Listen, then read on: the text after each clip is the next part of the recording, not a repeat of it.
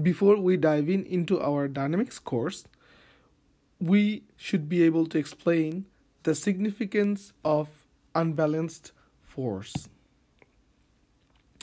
We'll start with a couple of simple questions before talking about unbalanced force. Why normal force is equal to the weight? Let us consider uh, a flower vase.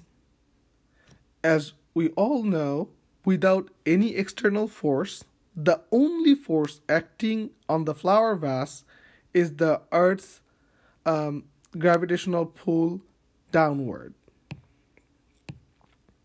That is mass into gravitational acceleration g, which is um, mg, that is weight. The reason for the vase not free falling or going through the table or bouncing back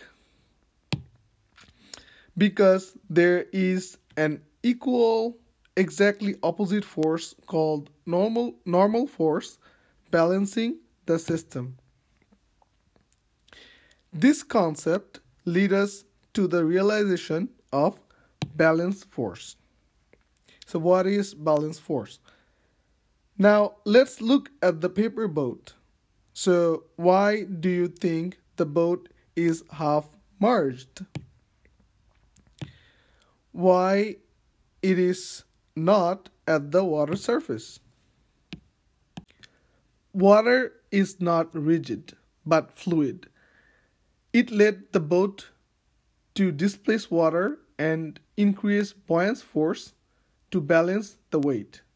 At this point, the buoyant force is equal and opposite to the weight of the boat. This is a scenario for statics analysis where the sum of all force equal to zero or balance. What if there was an unbalanced force? What is unbalanced force? Now, let us take another look to our submerged paper boat. When the paper boat was at the surface, the weight was greater than upward buoyant force the boat was sinking due to the unbalanced force towards the direction of the unbalanced force. It kept merging until enough water is displaced to equal counter the weight of the boat. Balanced and stable, this is also a proof of the Newton's first law. An object at rest stays at rest and an object in motion stays in motion with the same speed and it is um, in the same direction unless acted upon by an unbalanced force. In simple words, we can say there is no free lunch. Without act, without having anything, nothing will change. Significance of unbalanced force. The reason the strawberry creating a nice splash and drowning is because of the unbalanced force. Summation of force not equals, equals to zero, creating an unbalanced force causing the motion of the strawberry downward. The water removed by the strawberry is less than the weight of the strawberry. That's why the unbalanced force is creating the strawberry to drown in the water.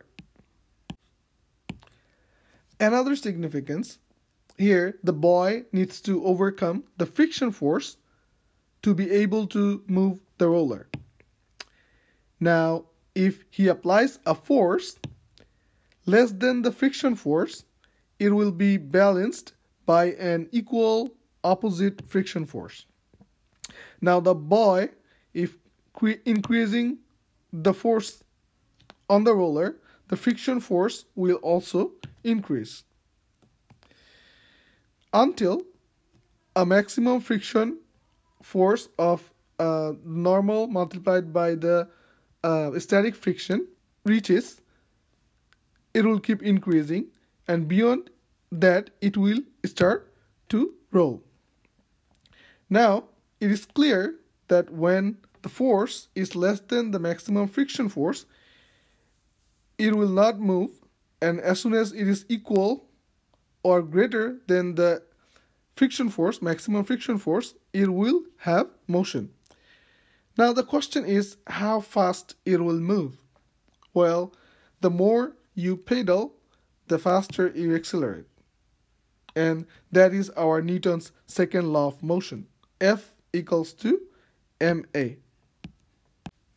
When mass is constant, then force is proportional to acceleration. The more force you give, the more acceleration you'll get. This is um, the Newton's second law of motion. And that was it for today. Uh, we'll talk about more a concept um, in, in future classes. Till then, thank you.